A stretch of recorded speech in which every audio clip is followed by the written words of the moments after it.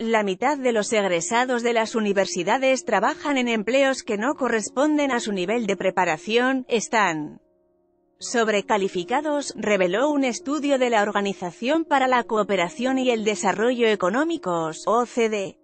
Además, si se ve por rango de edades, 77% de los mexicanos entre 25 y 34 años carece de un título universitario. Y el porcentaje aumenta cuando se trata del rango de 34 a 64 años, ya que es de 83 por ciento sin universidad concluida. De acuerdo con los documentos Educación Superior en México y el futuro de la educación México.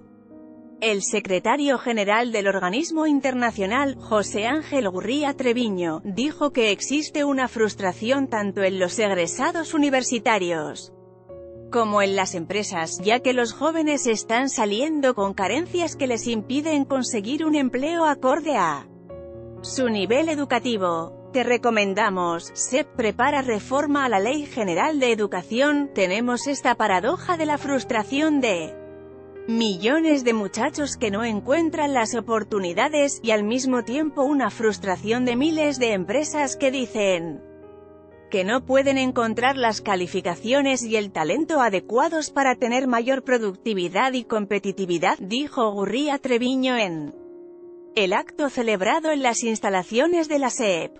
Aunque en los estudios de la OCDE se reconoce que la Matrícula a nivel superior creció de 21% a 38,4% entre 2000 y 2018. Existen varios problemas. El primero es que el porcentaje sigue siendo bajo en comparación no solo al interior de la organización, sino con otros países de la región como Chile o Colombia.